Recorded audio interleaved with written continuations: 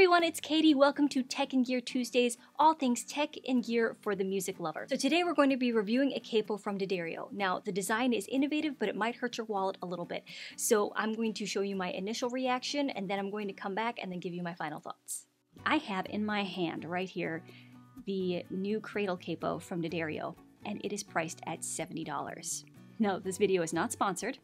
This was not sent to me. This belongs to my friend Travis. D'Addario collaborated with Ned Steinberger. He's known around the world for his innovative instrument designs. He gained popularity when he created guitars and basses created without the traditional headstock. The cradle capo features an adjustable micrometer. What makes it special is the self-centering cradle design that guarantees an even tension across the strings to eliminate buzz, providing consistent intonation. And he has also designed other capos for D'Addario. Ah, here's one of them. I love this capo. I love the fact that you can adjust the tension on this capo. And plus, I have some students that have uh, smaller hands, uh, and when I mean by smaller hands, I mean eight year olds.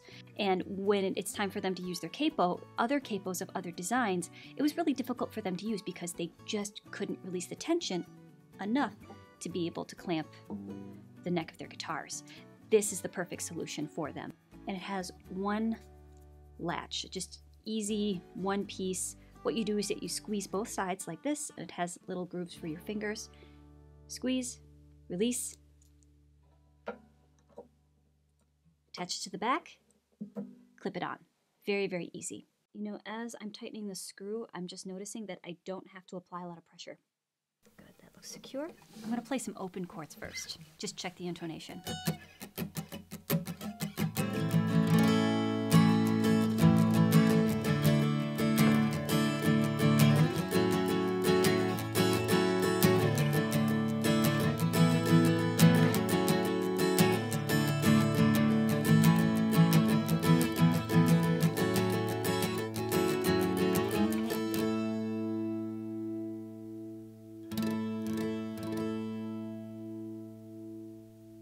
I just heard Angel sing.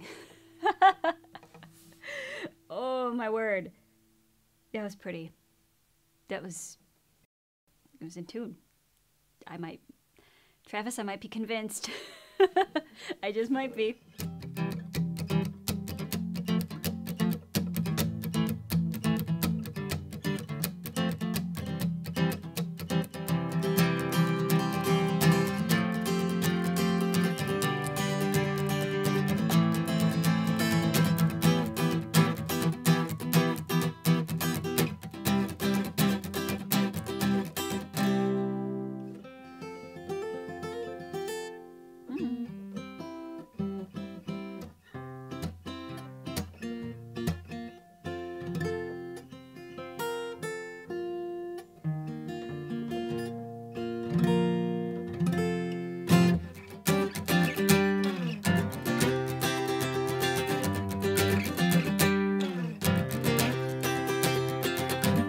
This is incredibly minimal. It's incredibly light.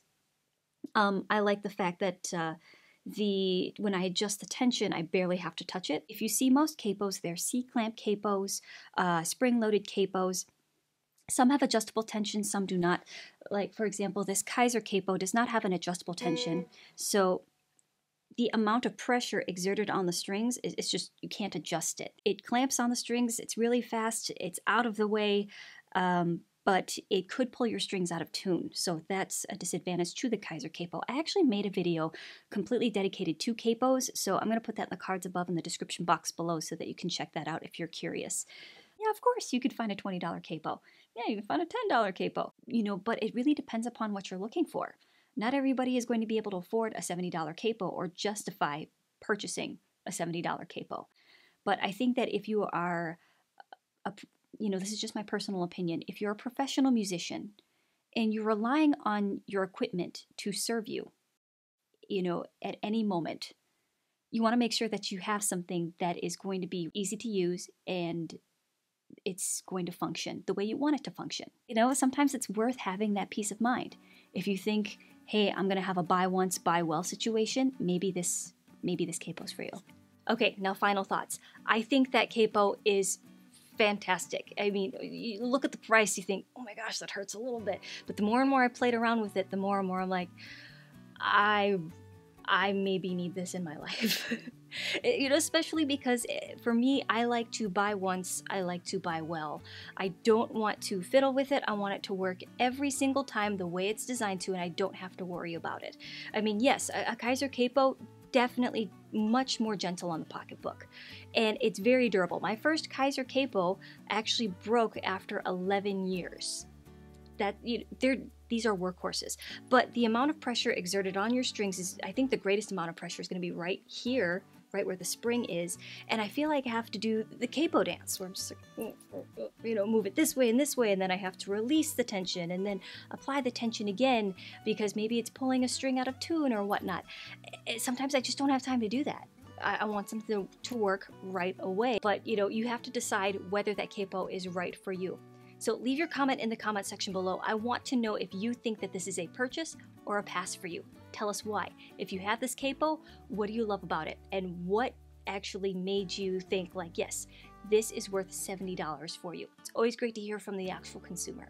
So, thank you for joining me for this episode of Tech and Gear Tuesdays, and I will see you next time. Bye.